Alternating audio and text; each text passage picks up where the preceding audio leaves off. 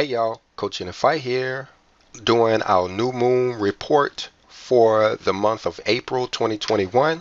And this class will be all about the first day of the first sacred month. In this video, we're going to use scriptural texts to prove how the sacred calendar is supposed to work and how the first day of the first month is determined based on that scriptural evidence. Not only are we going to give you the first day of the first month for the year 2021, but we're also going to give you the dates for 2022 through 2025. And we're going to show you the corrected feast days for the year 2021. And then we're going to go take a look at the scripture to see what events happened on the first day of the first month. These will be historical events as well as the first day of the first month in prophecy. So be prepared to leave a comment as we go. Go ahead and hit that like button and subscribe to our channel if you haven't done so already as we get prepared for our New Year's celebration. Of course, man celebrated his New Year's celebration months ago in the middle of winter, no doubt. But according to the sacred calendar, according to the Father's calendar, the original calendar, a calendar that we used before man started making calendars, New Year starts in the spring, in the first month of spring. Now you can look up in your encyclopedia how man changed the calendar when he first created his calendar. He had his started in the spring as well. But man wanted to create a disconnect between his calendar and the Father's calendar. So one of the things that he did was he moved the beginning of the year back to January. He also made the weeks 10 days long, but he changed those back, thank the Father. And of course, he took all of the holy days off of the calendar and replaced them with holidays. But we'll save that for another class. Okay, so let's go see exactly when the first day of the first month will fall in the year 2021. And to give this video a little bit of longevity, I'm going to show you the corresponding dates for the year 2022 and 2023 at least. But before we do, I need to jump over to the book of Enoch just to give you a brief summary of how the Father's sacred calendar is supposed to work. The reason I need to do so is because almost nobody uses the Father's sacred calendar today. The majority of the world, when it comes to sacred feast days, go by the Jewish calendar. But we've learned that the Jewish calendar is not the Father's sacred calendar because during the time of Hillel II and the Council of Nicaea, man came up with a calculation that they used to determine the Jewish calendar.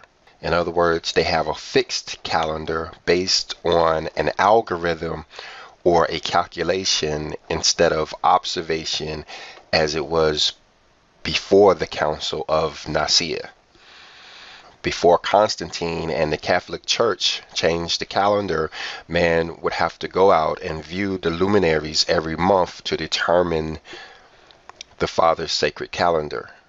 But today they have replaced the observation of the luminaries with a calculation, which in most years gets them pretty close. But in the year 2021, this calculation is going to have those who follow the Jewish calendar celebrating their feast days a month early.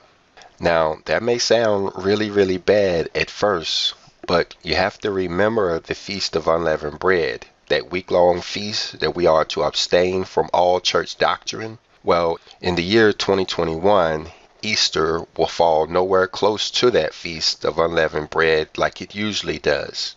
It seems as though man's intent was to create these calculations so that Easter would always fall during the Feast of Unleavened Bread, stamping out our efforts as we allow the church doctrine of Easter Sunday to infiltrate our week long unleavened bread appointment. Well, in 2021, those who understand the Father's correct calendar will be celebrating the spring feast in April, nowhere close to the pagan holiday Easter.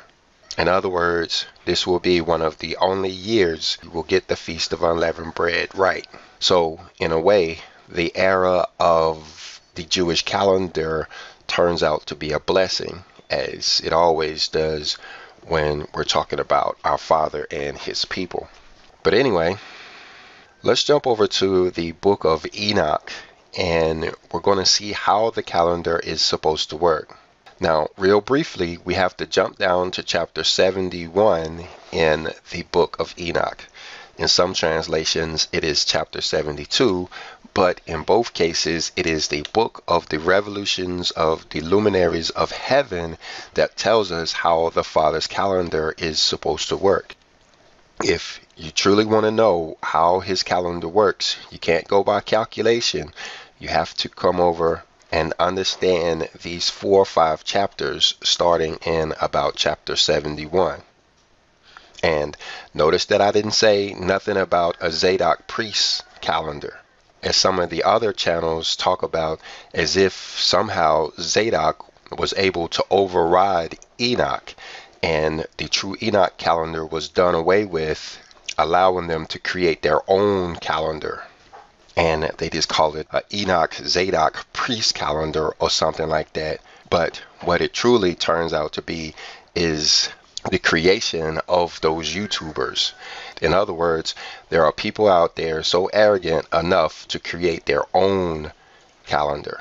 And when you listen to them talk about their calendar, they're not ashamed of it to say that that is their creation. This is my calendar. Just listen closely to the words they use. As they are proud of their creation, they're quick to let you know that they generated that calendar of their own mind.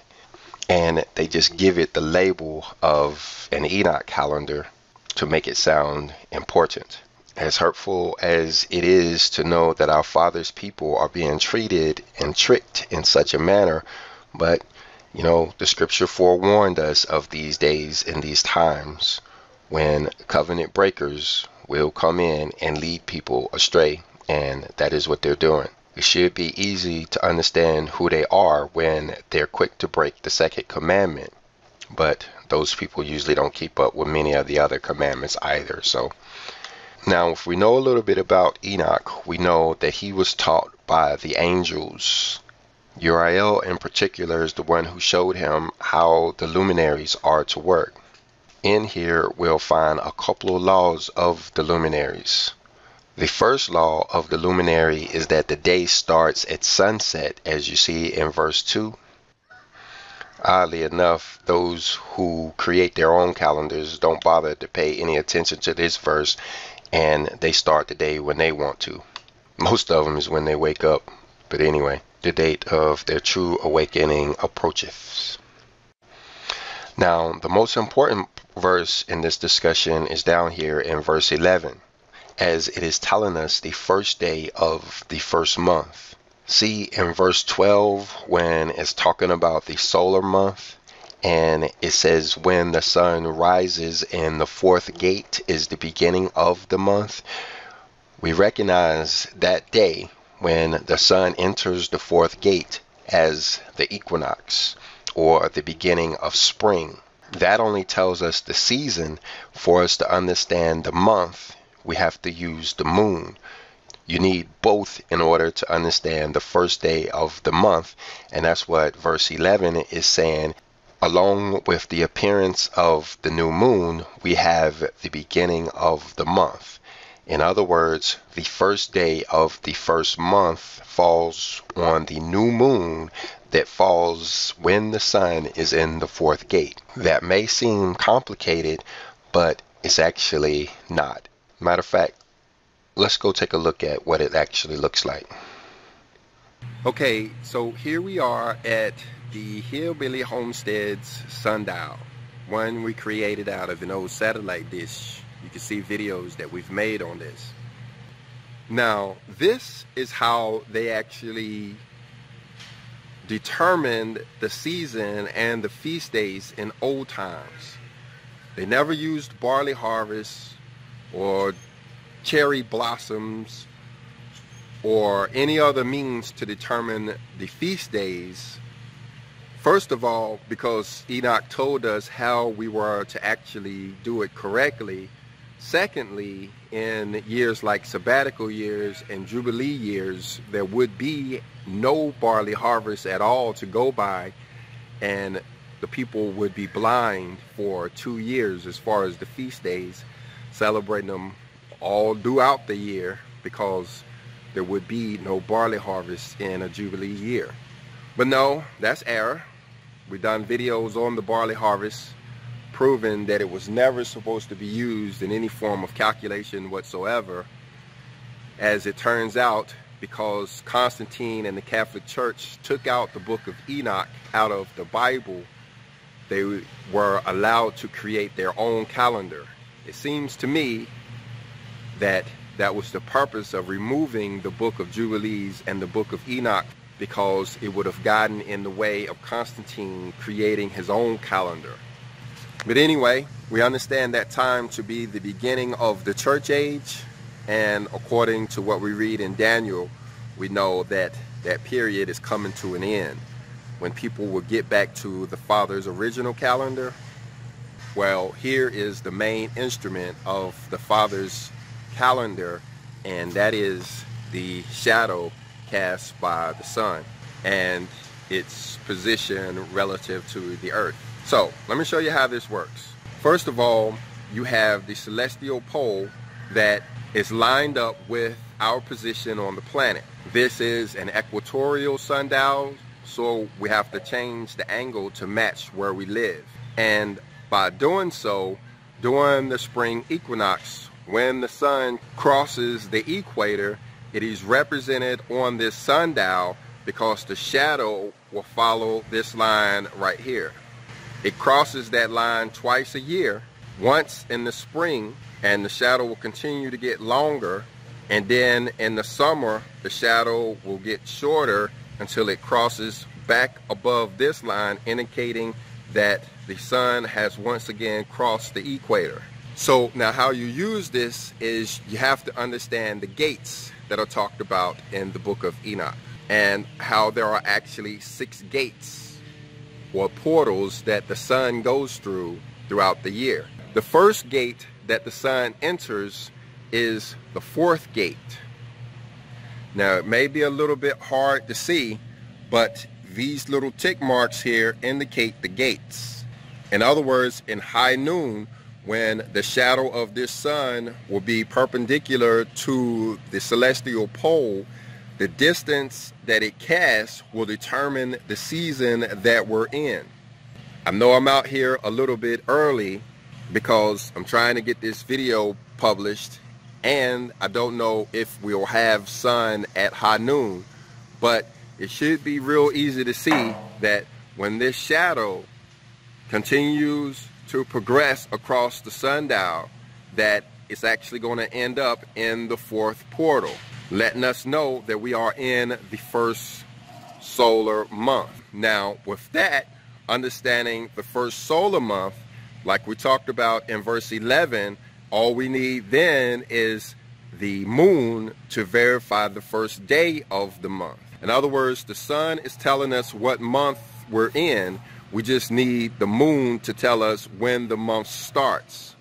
So what we do to know when the beginning of the year is, is simply find the new moon that falls when the sun is in this fourth gate. Now last month we were out here verifying that 2021 has a 13th month and what we saw was that the new moon that fell in March actually was above the line indicating that we were still in wintertime. When the shadow cast looks something like that, you know that you are in wintertime because those tick marks indicate the portals or the gates. This one being the third gate. When the sun is in this gate and you have a new moon, you know that you are in the last month of the year, whether it be the 12th month or the 13th month. So it turns out to be extremely simple and easy to do. And this is the way they did it for thousands of years until Hillel II got involved during the Council of Nicaea and they changed the calendar. Those people are not actually out there using observation of the position of the sun to determine the feast days. They're simply using a calculation. And if you've ever sat through a math class, you know how easy it is to make an error when it comes to calculations and equations.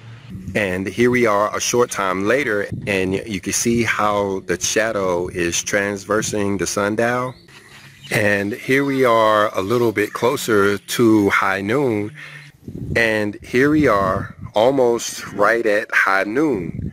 And we see that the shadow is definitely being cast in the fourth portal. So all we need to know is when is the new moon in this fourth portal and we can know the exact date of the beginning of the sacred year. So anyway, let's go back and let's use the correct method to determine the first day of the first month of the year 2021.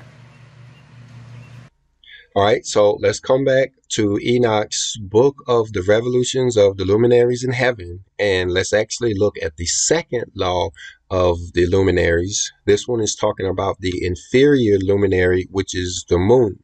And when we look down here in uh, verses 3, 4, and 5 of chapter 72, we see that the month starts with the appearance of the new moon.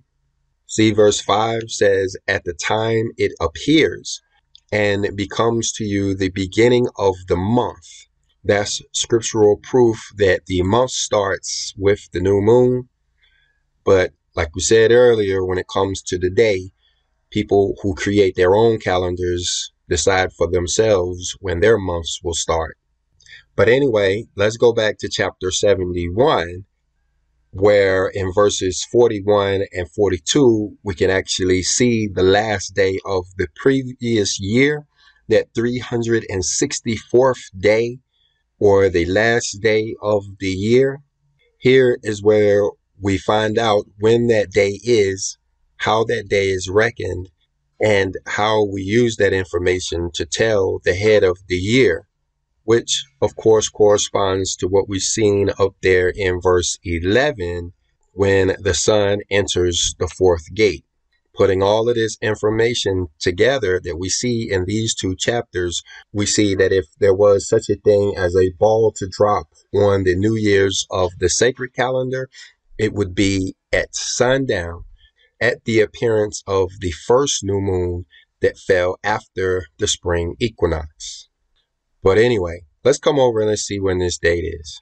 Now, according to Google, the spring equinox for the year 2021 is March the 20th. So we're looking for the new moon that falls after March the 20th.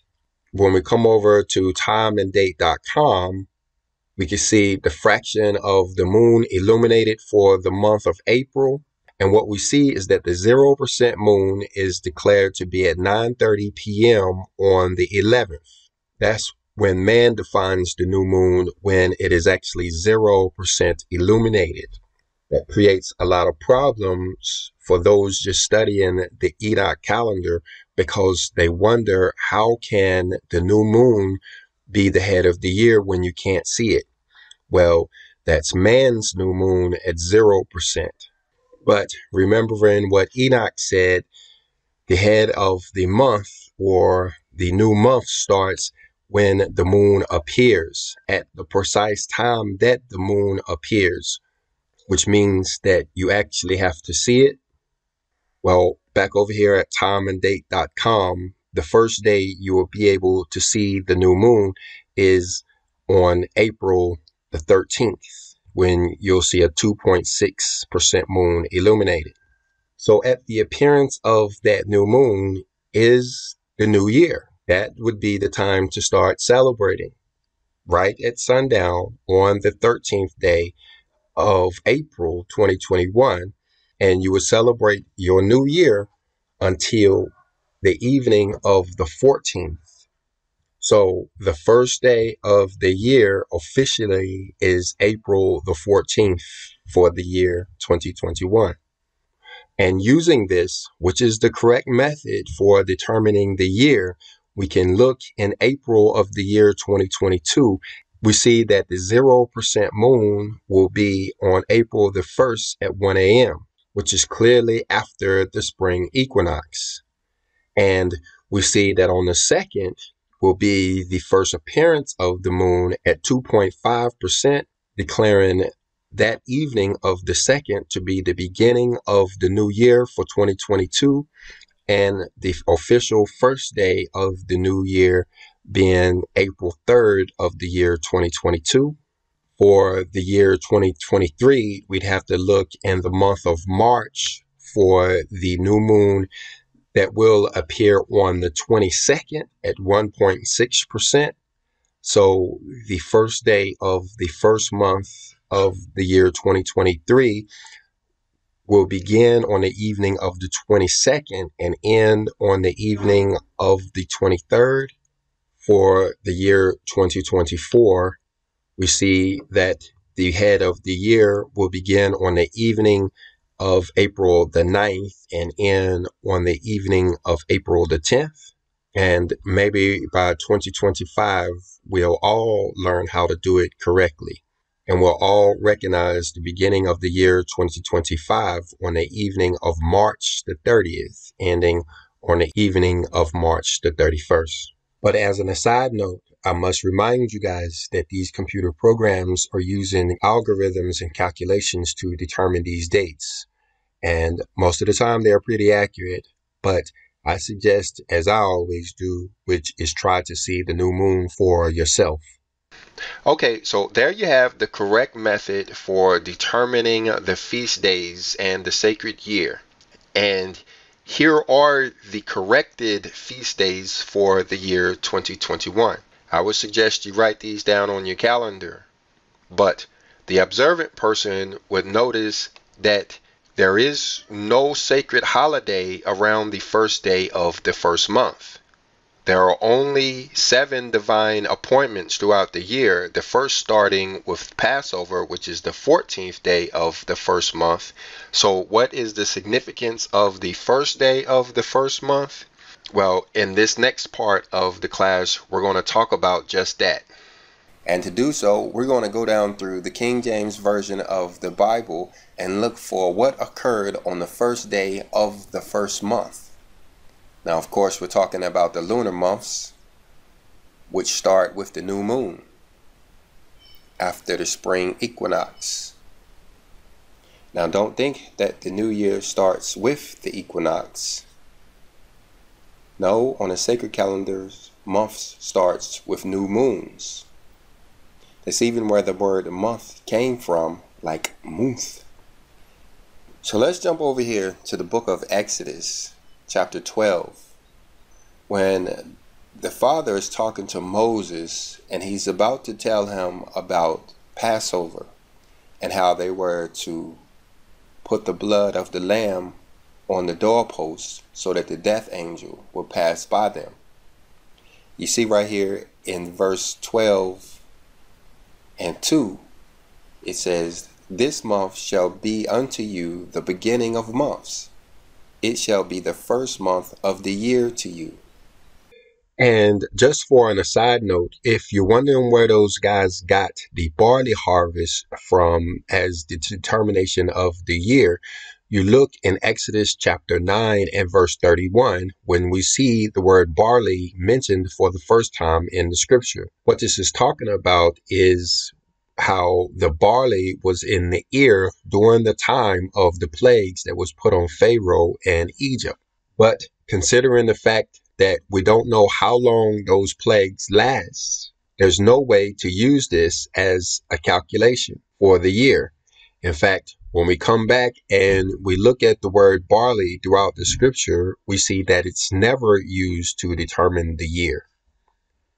The first time barley is seen in Exodus chapter 9, and we don't see the word barley used again until it's talking about the value of a homer of barley seed in Leviticus chapter 27. The next time we see barley is in Numbers chapter 5, but this is talking about the jealousy offering Deuteronomy talks about barley in chapter 8, but it's just talking about how the land of our father's people will be blessed with barley. And if we continue through the scripture, even though we see the word barley, we never see that it was used for a determination of the calendar at all. But I think the most significant proof that using the barley harvest to calculate the head of the year is error is how in the year 2021 the barley got it wrong because the fixed Jewish calendar declared the new moon in March to be the head of the year. Surely there were people in Jerusalem that diligently sought out some ripened barley to confirm it for themselves. But just as the people who follow the fixed Jewish calendar, the people who follow the barley harvest all got it wrong in 2021 and celebrated the feast days in the wrong month. To find out the name of the month, we would have to jump all the way down to chapter 38 and verse 18, where it says, For in the month Abib thou camest out of Egypt. And we know that they came out of Egypt during Passover. But the first month goes by other names as well, including Nisan or Nisan. You may hear it called sometimes. They're getting that from the book Esther, where it says, In the first month, that is the month Nisan. Now, the first month was called by other names as well throughout the scripture. As the children of Israel went into foreign lands and foreign nations and spoke foreign languages. But don't be confused, they're all talking about the first lunar month on the Hebrew calendar. Now, to see the first time that the phrase first month is listed in the Bible, you will start in Genesis chapter 8 and 13, talking about Noah. It says, In the first month, in the first day of the month, the waters were dried up from off the earth. And Noah removed the covering of the ark, and looked, and behold, the face of the ground was dry. This is after Noah had been on that ark for months he was on the ark for over a year as the earth was flooded for about that time. But it was in the first month, on the first day of the first month, that the land was dried up. It was on the first day of the first month that Noah was able to remove the covering from off the ark. Now, if you look at my Enoch calendar that I have on the wall, I have the verses with all of these dates written on that calendar because I believe that these dates have spiritual meanings and that on the first day of the first month, the spiritual waters will be dried up from our spiritual earth. And as we go by these dates each year, I pay close attention to what's going on in the world and my personal life, trying to see if there's some connection that I can make between the material interpretation of this verse and the spiritual interpretation of this verse. I do that for each verse that lists a date throughout the calendar, throughout the year. So we should write this down in our mental notebook that it is the first day of the first month that the waters will be dried up off the earth. Now we have to remember that the earth was going through a purification process back there with Noah. The entire earth was being purified of all wickedness and uncleanliness. That's why there were only eight people on the ark. Only eight people were found worthy to come through the flood and live in the new world. So we should write this down in our mental notebook that after this purification, it was on the first day of the first month that those purifying waters were dried up, meaning the purification was over. So let's go on to the next time we see the first day of the first month. It is down here in the book of Exodus in chapter 40. Now, this is the Father speaking to Moses, and he says in verse 2 On the first day of the first month, thou shalt set up the tabernacle of the tent of the congregation. So, this is significant as we think about our New Year's celebration, as how the tabernacle was set up in the congregation. Now, back then, this was a material tabernacle, just like back then there were material waters. But today, it is a spiritual tabernacle built in the hearts of humanity. But it is on the first day of the first month that this tabernacle was set up. And we're going to see that this is not the only time in the scripture that the tabernacle or the temple was set up and or cleansed on the first day of the first month. Now, in the same chapter in the book of Exodus, down in verse 17, we see that Moses was obedient. The tabernacle was set up in the first day of the first month. But notice right there how it's saying in the second year. This is the second year after the children of Israel left Egypt. Now, this is important for us to understand in our spiritual journey because you could imagine that the first time that we start to keep Passover could be like the Noah period where we have to spend a year in a sort of purification process. But in the second year, the tabernacle is reared up. That's what we're talking about when we have to look at the spiritual and the material meanings, because there is a connection between Noah's Ark and the exodus of the children of Israel. This connection is made clear when we look at the dates on which they fell. This is definitely a day for celebrating celebrating that our purifications may be over and that our tabernacles may be set up. Now let's go on, jumping all the way down here to Second Chronicles and chapter 29, where we start to hear about King Hezekiah. In the first month and the first day of the month, they began to sanctify the temple there's a lot of sanctification going on here. Now, up there in verse 12, you can start to see the names of the Levites. And down there in verse 15, how those Levites were sanctified according to the commandment of the king by the words of the Lord to cleanse the house of the Lord. Talking about Solomon's temple. The inner court was cleansed.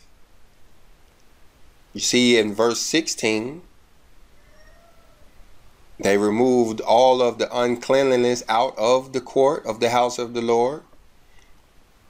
Verse 17 was talking about how they started all of this on the first day of the first month and how it lasted for eight days.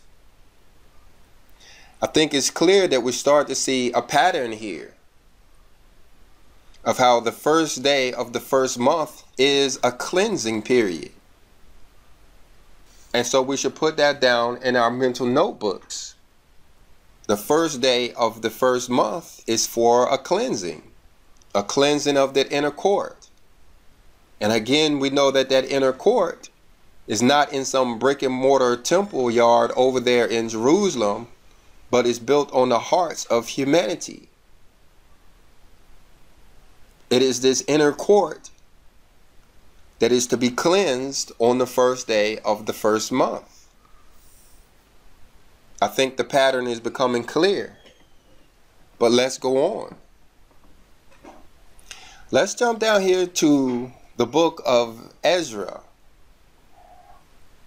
Looking here in chapter 6 and verse 19, you can see that on the 14th day of the first month that they kept the Passover. And if you know the book of Ezra, you know that this is after they had completed what we call the second temple, as Solomon's temple was rebuilt during that time. It was during the first month that they went in and actually started making offerings again in that temple that had been destroyed by Nebuchadnezzar. You look right there in verse 21, how they kept the feast of unleavened bread, seven days with joy. But when you jump down here to verse 9 of chapter 7, you see the first day of the first month that Ezra started to go up from Babylon. It says down there in verse 10 For Ezra had prepared his heart to seek the law of the Lord and to do it and to teach in Israel statutes and judgments. This preparation period seems to have started back there on the first day of the first month and lasted about four months. A lot of what goes on on the first day of the first month is about cleansing. I wonder if this is where they got spring cleaning from. When you look down here in Ezra chapter 10 and verse 17, there's a different kind of cleansing going on. It says, And they made an end with all the men who had taken strange wives by the first day of the first month.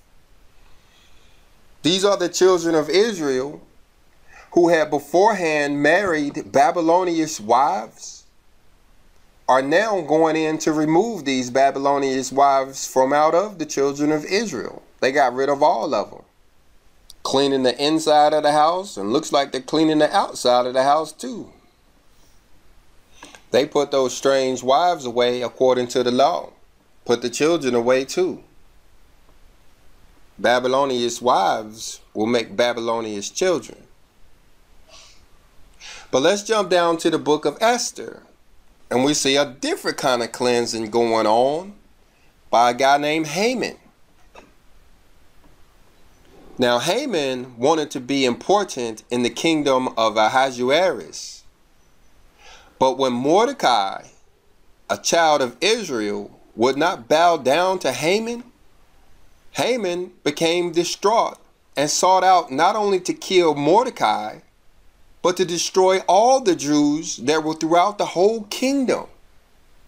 You look at verse 7 after chapter 3, it says, In the first month, that is the month Nisan, in the 12th year of King Ahasuerus, they cast Pur. That is the lot before Haman from day to day, and from month to month, to the 12th month, that is the month Adar. And verse 8 tells you how Haman went to King Ahasuerus and said, There is a certain people scattered abroad and dispersed among the people in all the provinces of the kingdom, and their laws are diverse from all the people, neither keep they the king's laws. Therefore, it is not for the king's profit to suffer them. Hey, king, let's go kill them all, he says right there in verse 9. Verse 9 said, If it please the king, let it be written that they may be destroyed. And you can see in verse 9 how he wanted to pay a thousand talents of silver to the people that destroyed the children of Israel, that killed all of the Jews out of the kingdom. He was planning on purifying the kingdom of all of the children of Israel. But if you remember the story of the book of Esther, how Queen Esther changed the king's heart and it wasn't the Jews that were destroyed, but it was all of the people that hated the Jews that were destroyed. And that's why some Jewish people celebrate Purim to this day. Because of this cleansing process that started on the first day of the first month by the hands of Haman was changed to a different kind of purification by the hands of the Lord. Now, I'm a student of the word just like you are. And in all of these classes, I learned something. And what I'm learning from this class on New Year's is that New Year's is all about cleansing. Now, when I jump down here to the book of Ezekiel, chapter 26 and verse 1 doesn't tell me exactly what month it is. But by not doing so, makes me assume that it is the first month. Here is Ezekiel getting the word of the Lord talking about cleansing Tyrus. Therefore, thus saith the Lord God, Behold, I am against thee, O Tyrus, and will cause many nations to come up against thee, as the sea causeth his waves to come up. So now this sounds a lot like went on back there with Haman. How you have a group of people that wants to come against the children of the Most High, and how the Most High is going to step in to destroy that people. And like I said at the beginning of this video, how I believe that a lot of these dates that were given back then in that living parable can be superimposed on our dates here spiritually in these end times. And so, for those who want to come against the children of Israel, they should also be mindful of the first day of the first month. Because if what I believe is true, it will be during the first month and the first day of the month that the tables will turn, and that the children of Israel will no longer be the tail and will become the head. Now, down here in the same book, Ezekiel chapter 29 and 17, I think confirms that the word of the Lord came to Ezekiel in the first month and the first day of the month because down here, we're also getting another word of the Lord that's coming to Ezekiel in the first month and in the first day of the month. And what he's telling Ezekiel down here in verse 18, he says, Son of man, Nebuchadnezzar, king of Babylon, caused his army to serve a great service against Tyrus. Every head was made bald, every shoulder was peeled. Yet had he no wages, nor his army, for Tyrus for the service that he had served against it. And verse 19 says, Therefore, thus saith the Lord God, Behold, I will give the land of Egypt unto Nebuchadnezzar, king of Babylon, and he shall take her multitude, and take her spoil, and take her prey, for it shall be the wages for his army. This is the word of the Lord coming in the first day of the first month, a day of cleansing, a day of purification, a day of turning the tables, a day of making things right. And down here in chapter 45 and 18, again, we're talking about cleansing the tabernacle or the inner courts. It says, Thus saith the Lord God, in the first month, in the first day of the month, thou shalt take a young bullock without blemish and cleanse the sanctuary. So Ezekiel is confirming what we read earlier by Moses is that the first day of the first month is a time for cleansing. Not only the inner court, as re mentioned down there in verse 19, but the sanctuary is cleansed on the first day of the first month. You have the house of the Lord, the inner court, the sanctuary, all cleansed on the first month, as we've seen so far in this video. The strange wives were put away, even the strange people out of the community. The first day and the first month is a day for getting rid of all uncleanliness. But let's look a little, let's look at a couple of more verses here in chapter 45 of Ezekiel. Because anytime you're celebrating the New Year's of the Lord, you're also thinking about Passover. Verse 20 says, And so thou shalt do the seventh day of the month for every one that erreth, and for him that is simple, and so shall reconcile the house. Talking about the seventh day of the first month. And verse 21 says, and in the first month, in the fourteenth day of the month, ye shall have Passover, a feast of seven days. Unleavened bread shall ye eat. So it makes sense that all of this purification and all of this cleansing is going on. We're cleaning our houses, getting ready for the Passover and the feast of unleavened bread. So this brings to mind baptism and how we are able, through the power of the water, to cleanse away all of our sins and wash away all of our stains on our spirit by way of baptism. So as we're cleaning our house, our inner court, our sanctuary, getting our wives and our neighbors straightened out, should be a time that we should be considering getting rebaptized again. This time, understanding that it is repentance that we're seeking in that water, not a rite or a ceremony, but a cleansing of our sanctuary. But whatever we decide to do, it is New Year's. This is a New Year's celebration, a time for celebrating a new year. Getting off to a clean start maybe should be the theme. But our primary goal should be the purification of our sanctuary, cleaning out that inner court, making ourselves ready for the temple of God to fall upon mankind. Talking about New Year's, the real New Year's. Shalom.